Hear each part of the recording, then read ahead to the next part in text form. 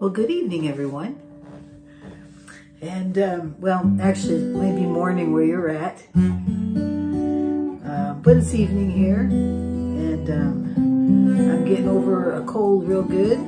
Actually, it wasn't a cold. It turned out to be COVID. Can you believe that? It was mild, though, so I was fortunate. I think I got sicker with the vaccines than I did with getting the COVID. but maybe that helped keep it mild. So what I have left is a little bit of a cough. So if I start coughing, you know why. All right. Well, today I thought I'd share with you an update on this Takamine. I don't know if you remember this thing. It's the 1980 EF385. Remember the one that I purchased um, uh, when I was in Montana? And uh, I had it shipped to the house. It's a beautiful guitar. 1980, got it for 250 bucks. And uh, I did a little work on it. And so I thought I'd share that with you today and share you the sound. And um, I also have my Taylor 12. I thought maybe we could do a quick comparison um, and see how it turned out with brand new strings on it. and some brand new pins as well. So so we'll get to that. But first, there's a few things I want to go over. Um, the first is I'm going to be doing a live, but not until July the 30th. Okay, so it's a Tuesday, and it will be, you know, here on the West Coast, it'll be at 6 p.m. on a Tuesday night on the 30th.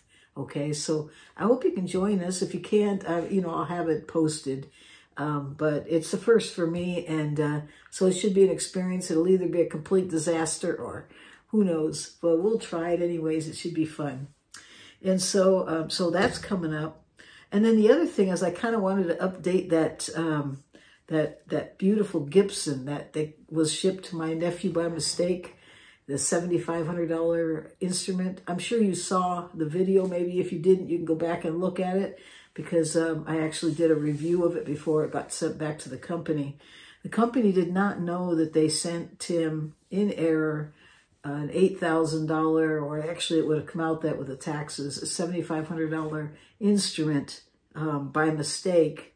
Um, but because uh, it would bother his conscience, and I understand why, um, it, he, they were called and notified that the wrong instrument was sent.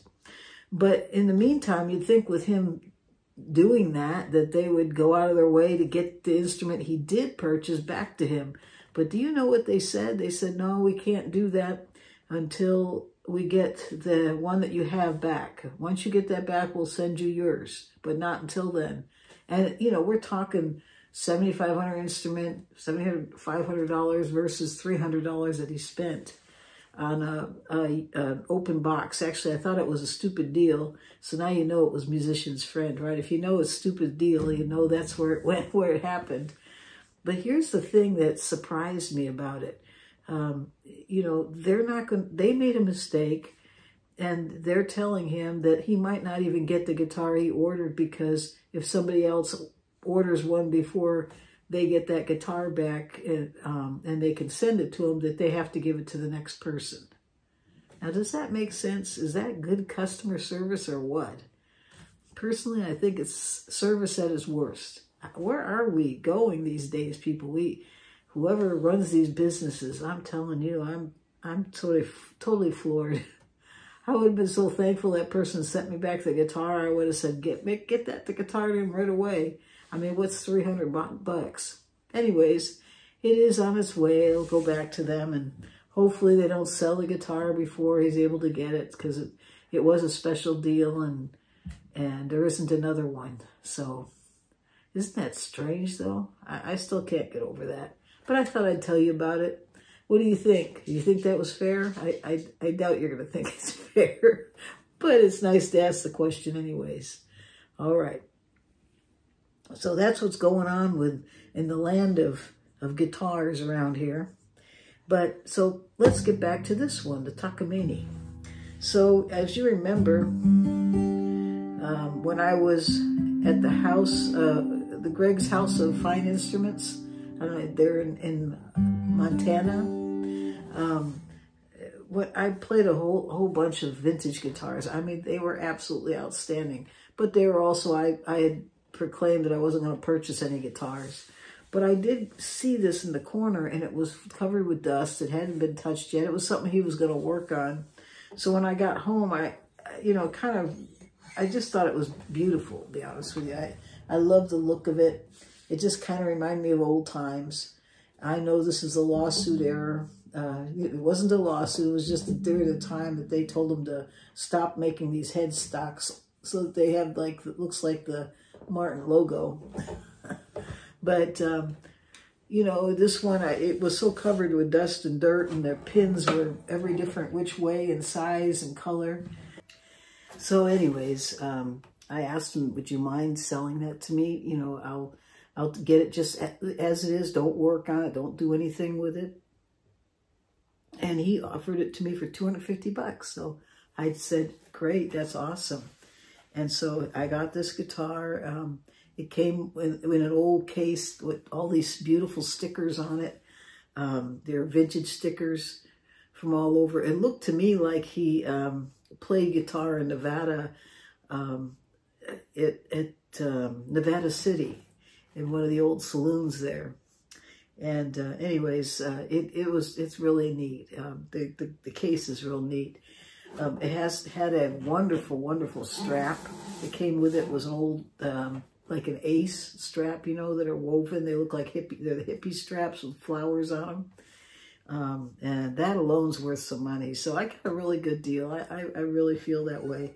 So today I removed all the strings, started working on the fingerboard.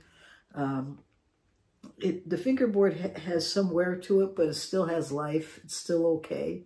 But you can see um, up here in the first four frets that at some point those frets are going to have to be taken off and replaced. The rest of it looks really clean. Also, the fingerboard has some wear marks um, that are starting, but again, uh, it still plays fine, so I, I, wouldn't touch that right now. Um, it is it has a lot of character.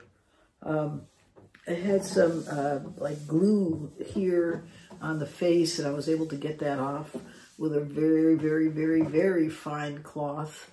Um, uh, you know, and uh, went over it and was able to clean it really good. So it really came out that, as far as the cosmetic on that, it came out nice.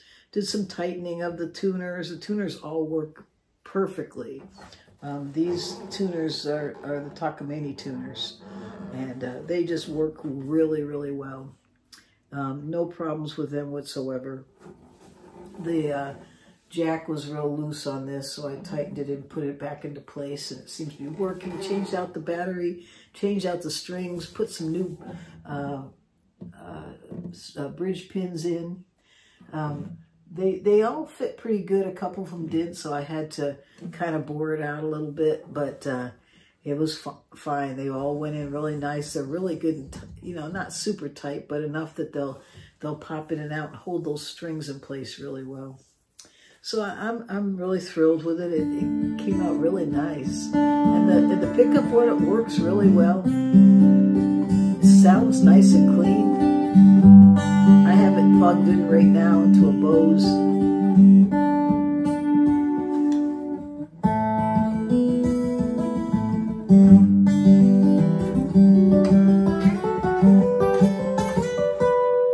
All the way up the neck. It just plays really, really well. So that's that's kind of the story of this guitar. But I, I thought would be kind of fun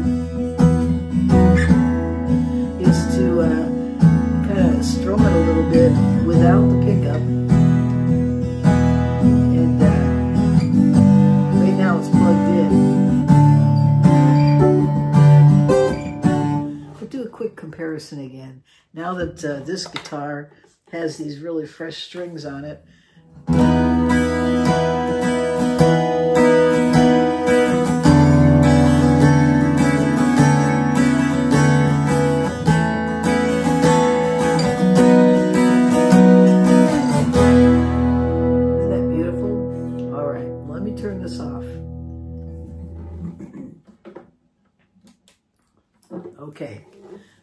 go.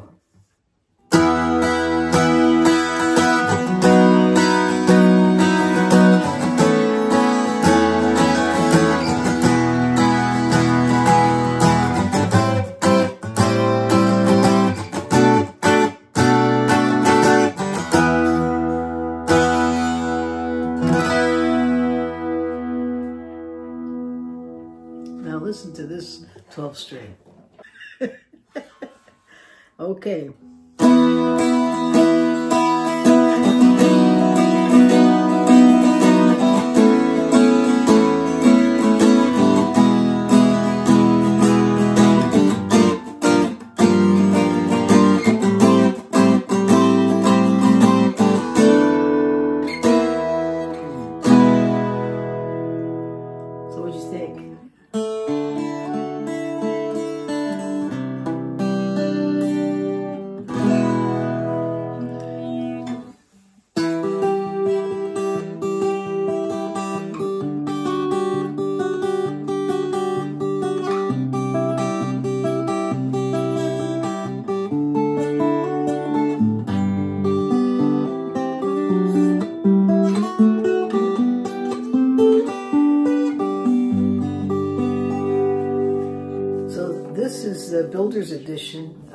12 string.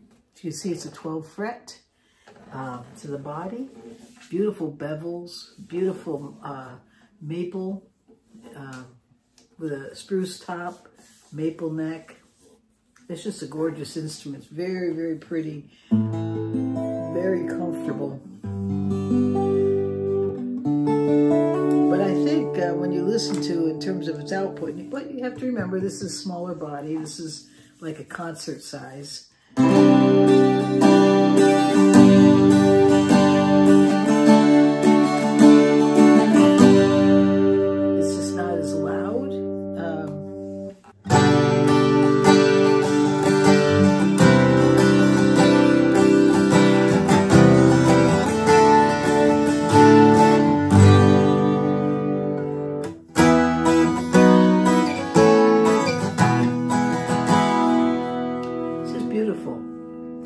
So there you have it. I'm pretty happy with it. I think it's a great little guitar. And um, uh, it's definitely a keeper from the 1980s. And, and truss rod, it worked really, really well. I, I just uh, I did just a slight change to bring the action down. Um, and it was very responsive to uh, um, the very tool that you would use on a Martin guitar. So these things are pretty much, from what I understand, they're they're kind of a, a makeup of the Martin guitar. They're, they're kind of structured the same way. So they did use the same size. And the truss rod is right there. So yeah, so uh, it's it's just a very, very nice, nice instrument, well built, nice, nice picking, and uh, well worth 250 bucks, I'll say. All right. So there you have it, the 1980 EF385 uh, Takamine. And it has a solid spruce top. Uh, and I think the jury's still out as to whether or not that's a solid back and side. Although on the website it says that this model does have a solid back and side. Um, but that may have been for later models. So I'm not really sure. When you look inside, it really does look like a solid guitar, but it's hard to tell with this finish and everything um, if it if it is or not. So anyway, so that's that's the story, and uh, I just thought I'd share that with you. And I hope you all have a wonderful day um, or night, wherever you are in this world.